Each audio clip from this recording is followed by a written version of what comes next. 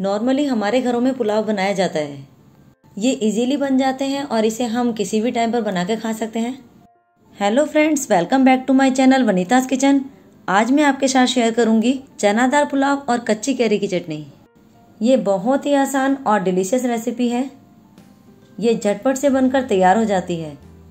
ये बच्चों से लेकर बड़ों तक सभी को बहुत पसंद आती है।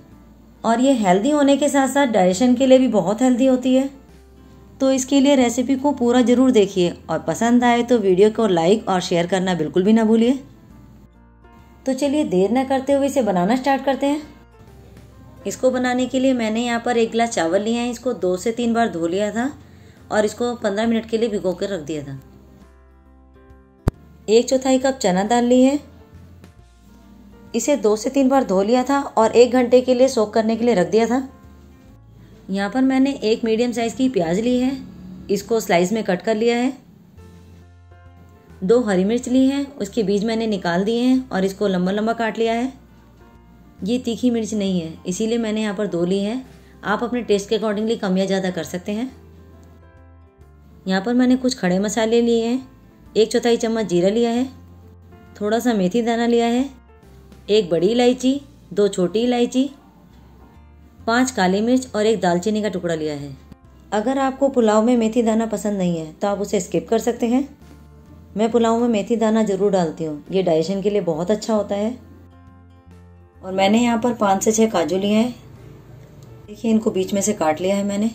आप चाहे तो टुकड़ा भी ले सकते हैं। तो चलिए बनाना स्टार्ट करते हैं। ये देखिए, मैंने दाल और चावल जो भिगो के रखे थे, उस पानी को मैंने फेंक दिया है।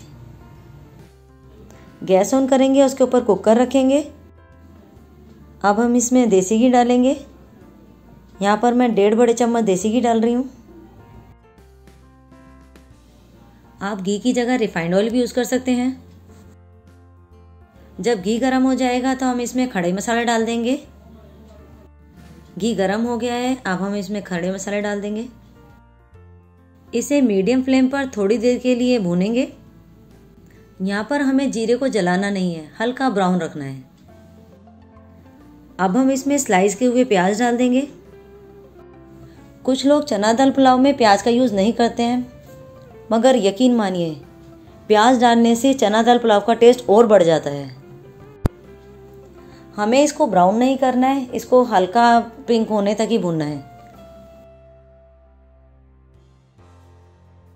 अब हम इसमें डालेंगे काजू।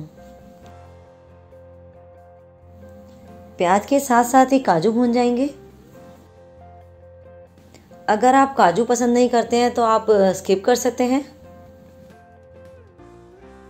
हरी मिर्च को जो हमने काट के रखा था, उसे डाल देंगे।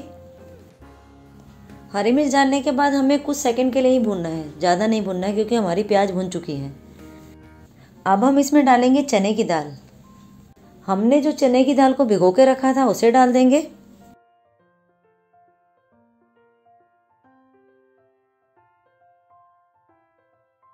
अब इसमें स्वादानुसार नमक डालेंगे।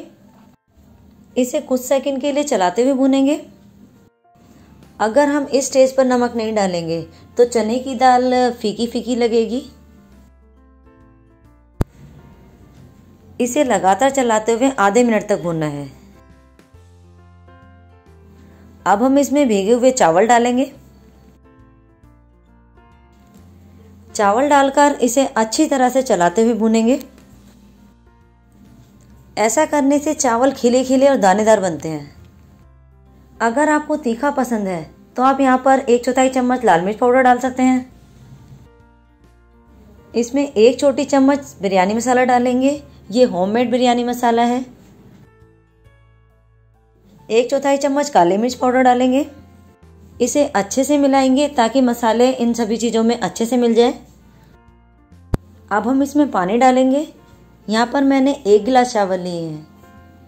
तो मैं इसमें डेढ़ गिलास पानी डालूँगी।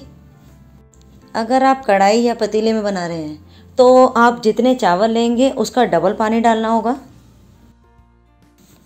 सबसे पहले मैं एक गिलास पानी डाल रही हूँ। इसमें आधा गिलास पानी और डालूँगी।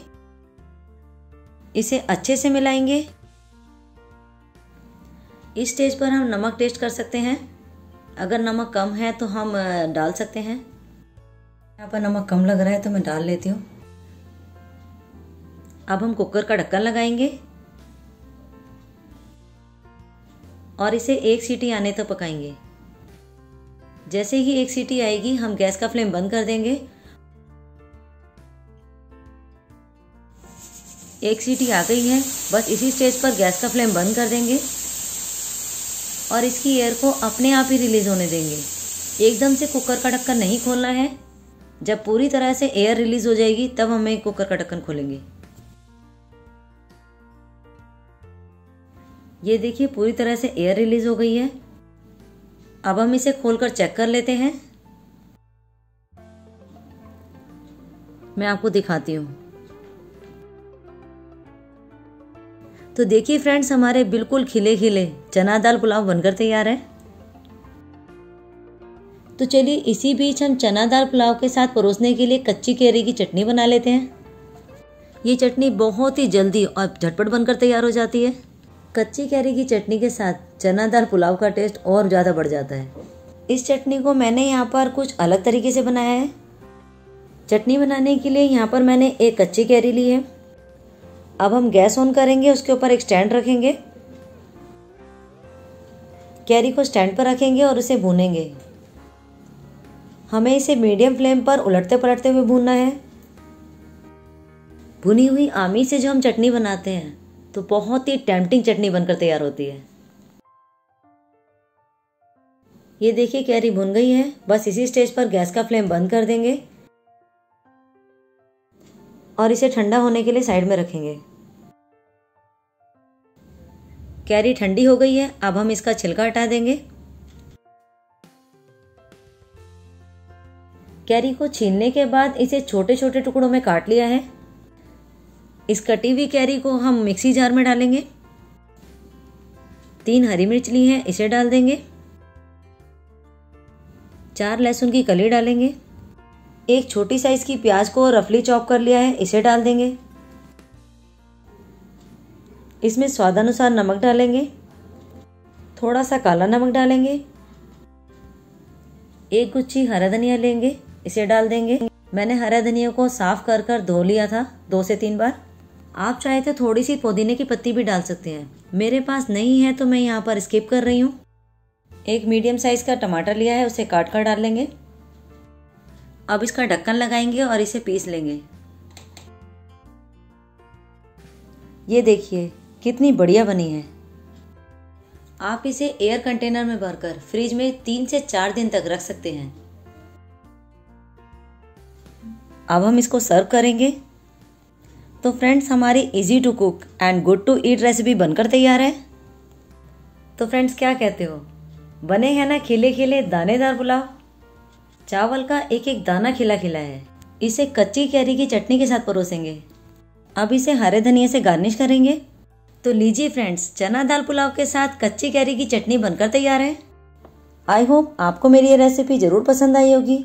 अगर आपको ये पसंद आई है तो अपने फ्रेंड्स एंड फैमिली के साथ भी ज़रूर शेयर कीजिए। वीडियो को एंड तक देखने के लिए आपको बहुत बहुत धन्यवाद। ऐसे ही नई नई और इंटरेस्टिंग रेसिपी देखने के लिए आप हमारे साथ जुड़े रहें। आज के लिए बस इतना ही। तब तक खुश रहिए हेल्दी रहिए।